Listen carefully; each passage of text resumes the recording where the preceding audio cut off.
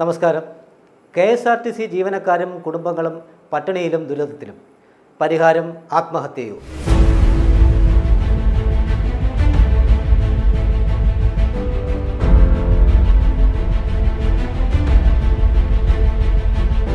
ചെയ്യുന്ന ജോലിക്ക് കൂലി നൽകാതിരിക്കുകയും ജീവനക്കാരെയും കുടുംബാംഗങ്ങളെയും മരണത്തിലേക്കും ആത്മഹത്യയിലേക്കും തള്ളിവിടുകയുമാണോ ചെയ്യേണ്ടത്? ഇത് K S R T C ജീവനക്കാരുടെയും കുടുംബാംഗങ്ങളുടെയും പൊതുജനത്തിന്റെയും ചോദ്യമാണ്. രണ്ടായിരത്തി പതിനാറ് വരെ ഞങ്ങൾക്ക് കൃത്യമായിട്ടുള്ള അവസാനത്തെ ദിവസം വർക്കിംഗ് ഡേയിൽ ശമ്പളം കിട്ടിക്കൊണ്ടിരുന്നതാണ്. അതിനുശേഷം ഇന്നലെ വരെയും ഇന്ന് വരെയും ഈ നിമിഷം വരെയും അവർ ശമ്പളം മുടക്കി തന്നുകൊണ്ടിരിക്കുന്നു. ബാങ്കുകൾക്ക് അധിക ബാധ്യതയായി ഞങ്ങൾ മാറിക്കൊണ്ടിരിക്കുന്നു. ഞങ്ങളുടെ വീട് പട്ടിണിയും പരിതാപകരമായ രീതിയിലാണ് പോയിക്കൊണ്ടിരിക്കുന്നത്. ശമ്പളം കഴിഞ്ഞ ഒരു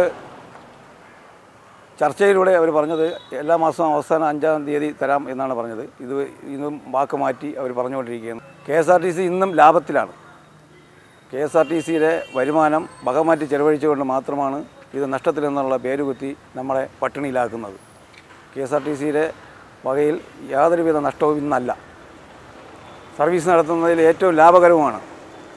പിന്നെ ഇതിൽ നഷ്ടം വരുത്തി കാണിക്കുന്നത് മാനേജ്മെന്റിന്റെ ഒരു പിടിപ്പുകേടാണ്. ഇതിന്റെ ഇതുവരെ ഇവരുടെ ഇതിന്റെ കണക്കുകൾ ഒന്നും അവതരിപ്പിച്ചില്ല. ഞങ്ങൾക്ക് തിരക്കിയപ്പോൾ അറിയാൻ കഴിഞ്ഞത് കെ എസ് ആർ ടി സിക്ക് മാത്രമായിട്ട് അൻപത്തിയാറ് ബാങ്ക് അക്കൗണ്ടുകൾ ഉണ്ടെന്നാണ് ഞങ്ങൾക്ക് അറിയാൻ കഴിഞ്ഞത് ഈ അടുത്ത സമയത്ത്.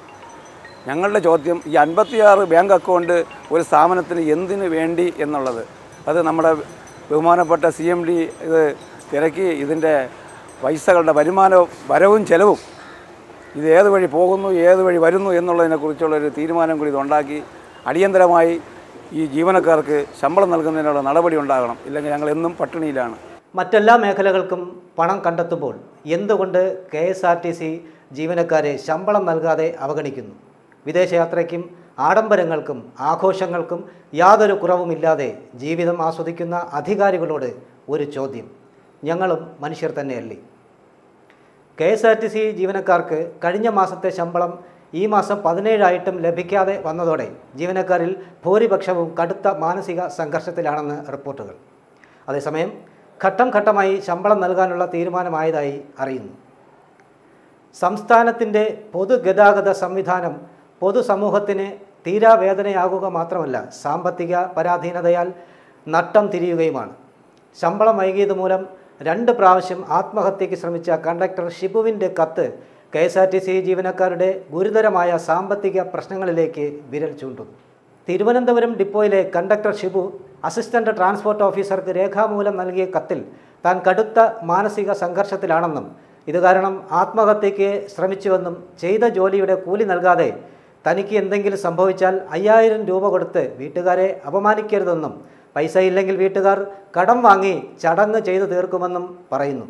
വായ്പാ തുക അടയ്ക്കാൻ കഴിയാതെയും നിത്യോപയോഗ സാധനങ്ങൾക്കും മരുന്നുകൾക്കും കുട്ടികളുടെ പഠന ആവശ്യങ്ങൾക്ക് പോലും പണം കണ്ടെത്താൻ കഴിയാതെ ഇതുപോലെ നിരവധി പേർ കടുത്ത മാനസിക സംഘർഷത്തിലാണ്. കെ എസ് ആർ ടി സിയിലെ ആൻഡ് ഫോർ ജസ്റ്റിസ് എന്ന സംഘടനയുടെ സംസ്ഥാന പ്രസിഡന്റ് ടി കെ പ്രദീപിനോട് സംഘടനയിൽ അംഗമല്ലാത്ത വൈക്കം ഡിപ്പോയിലെ ഡ്രൈവർ ഇന്ന് വിളിച്ച് അദ്ദേഹത്തിന്റെ സങ്കടം പറയുകയുണ്ടായി. അതീവ സങ്കടകരമായ ഒരവസ്ഥ. ഒരു സഹപ്രവർത്തകൻ ഈ ഐ ടി എഫിലോ അല്ലെങ്കിൽ എഫ് എഫ് ജെയിലോ മെമ്പർ അല്ലാത്ത ഒരു സുഹൃത്ത് അയാളുടെ മനസമാധാനത്തിന് വേണ്ടി എന്നെ വിളിച്ച് പൊട്ടിക്കരഞ്ഞ വാർത്ത നിങ്ങളെ അറിയിക്കുന്നതിന് വേണ്ടിയിട്ടാണ്.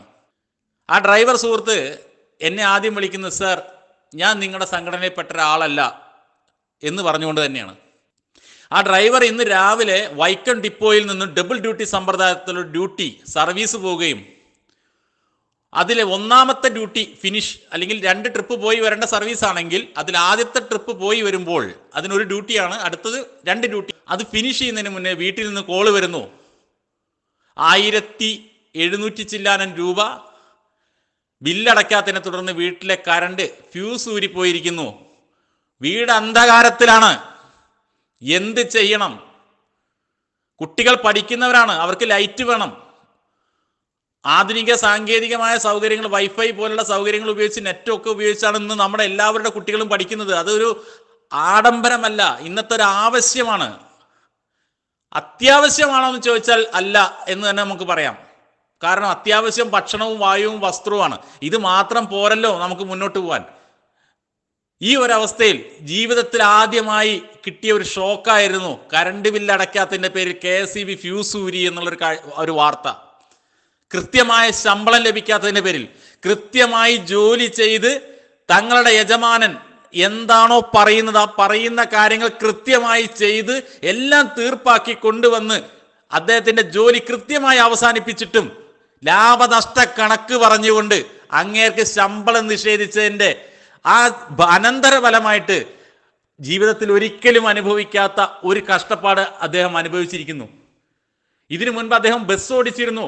ലോറി ഓടിച്ചിരുന്നു ഓട്ടോറിക്ഷ ഓടിച്ചിരുന്നു.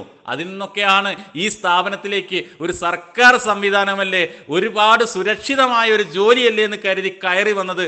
ഇത് കേട്ടതോടുകൂടി ഈ ഫ്യൂസ് സൂര്യ വാർത്ത കേട്ടതോടുകൂടി അദ്ദേഹത്തിന് പിന്നെ വണ്ടി ഓടിക്കാൻ കഴിഞ്ഞില്ല. പ്രസ്തുത വിവരം അദ്ദേഹം വൈക്കം വേട്ടിയോട് സംസാരിച്ചു എന്നാണ് പറഞ്ഞത്. വൈക്കം വേട്ടിയോ അദ്ദേഹത്തിനോട് പറഞ്ഞു ഒരു ഡ്യൂട്ടി കൂടി ഉണ്ടല്ലോ അത് സറണ്ടർ ചെയ്തിട്ട് ആ പണവുമായിട്ട് നിങ്ങൾ നാളെ ഫീസ് ഊരിയ കെ എസ് ഇ ബിയിൽ പോയി പണം അടയ്ക്കൂ. അപ്പൊ അദ്ദേഹം ചോദിച്ചു ഇന്ന് രാത്രി ഞാൻ ഇരുട്ടിൽ കിടക്കണ്ടേ? എന്റേതല്ലാത്ത കുറ്റം കൊണ്ട്. ഇത് അദ്ദേഹം അത് അത് ആ രീതിയിൽ ചോദിച്ചോ ഇല്ലയോ എന്നല്ല പക്ഷെ അതല്ലേ ആ ചോദ്യത്തിന്റെ അർത്ഥം. അഭിമാനം പണയം വെക്കുന്നതിന് പരിധിയുണ്ട്. നെറികെട്ട ഒരു ഭരണകൂടം ലാഭനഷ്ടത്തിന്റെ കണക്ക് പറഞ്ഞുകൊണ്ട് കിട്ടാവുന്ന ശമ്പളം അല്ലെങ്കിൽ തരേണ്ട ശമ്പളം മാറ്റിവെച്ചിരിക്കുന്നു. ആയിരത്തി എഴുന്നൂറ്റി ശിഷ്ടം രൂപ കറണ്ട് ബില്ല് അടയ്ക്കാത്തതിനാൽ വീട്ടിലെ ഫ്യൂസ് ഊരിക്കൊണ്ടുപോയത്രേ.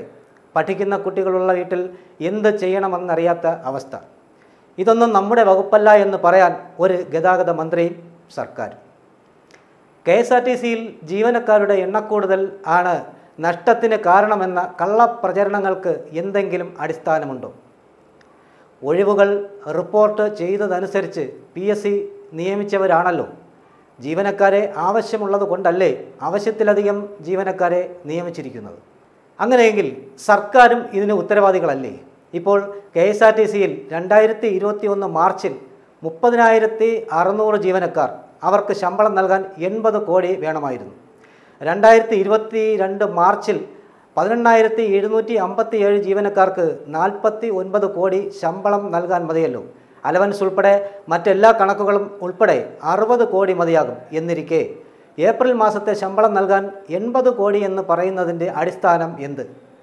ഒരുപക്ഷെ അടച്ചു പൂട്ടലിന് ഒരു കാരണം കണ്ടെത്താനുള്ള ശ്രമമാണോ എന്ന സംശയങ്ങളും ഉയരുന്നുണ്ട്. ജീവനക്കാരെ സമരത്തിലേക്ക് നയിച്ച് സർക്കാരിനും ഗതാഗത വകുപ്പിനും നഷ്ടത്തിന്റെ കണക്കുകളിൽ തള്ളിവിട്ട് സ്വയരക്ഷയ്ക്കല്ലേ എന്നതും ജനകീയ ചോദ്യചിഹ്നമാകുകയാണ്. ഇവിടെ ഓരോ K S R T C ജീവനക്കാർക്കും ചോദിക്കാനുള്ളത് തങ്ങളുടെ പ്രശ്നങ്ങൾക്ക് പരിഹാരം കാണാൻ ആരെ സമീപിക്കണം? അടിയന്തരമായി പരിഹാരം കണ്ടെത്തിയില്ല എങ്കിൽ ആത്മഹത്യയല്ലാതെ മറ്റ് മാർഗങ്ങളില്ല എന്ന ഷിബുവിന്റെ വാക്കുകളെ ഒരിക്കൽ കൂടി പറഞ്ഞുകൊള്ളട്ടെ. വീണ്ടും ഒരു ജനകീയ വാർത്തയുമായി വരുന്നതുവരെ നന്ദി നമസ്കാരം.